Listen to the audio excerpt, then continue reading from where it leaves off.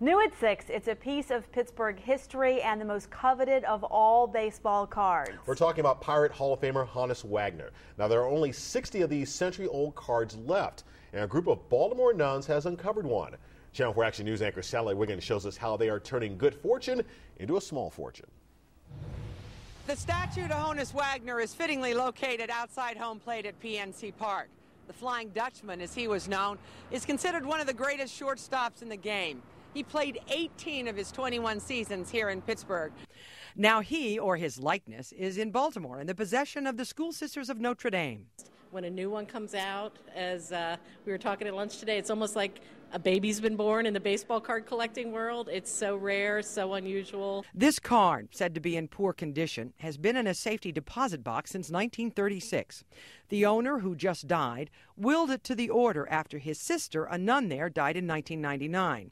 Now up for auction, the card is unlikely to see the light of day. You know, a lot of these private collectors, because these things are rare and valuable, they have them, they enjoy them themselves, they don't broadcast that they have them. Here are just some of the prices of the cards.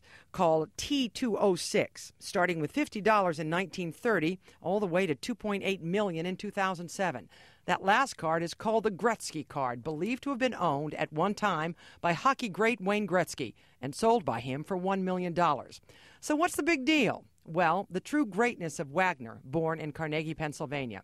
Veteran sportscaster Bill Hillgrove has a book about Wagner and marvels at his ability. But, you know, through his career, he played third, short, second, first, subbed in center field. He was a great baseball player, and I really believe that leads to the rarity of this card. And the fact that there are so few. The American Tobacco Company stopped printing them quickly, and one report is that Wagner disliked the affiliation with cigarettes. Another report says it was a dispute over money. But this most recent card is estimated to be worth as much as 200,000.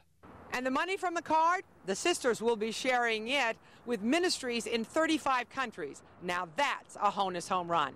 Sally Wiggin, Channel 4 Action News. Interesting stuff. Hey, by the way, this auction runs through next week. And we have a link so you can keep track of it at the Pittsburgh channel. Just click on As Seen on WTAE.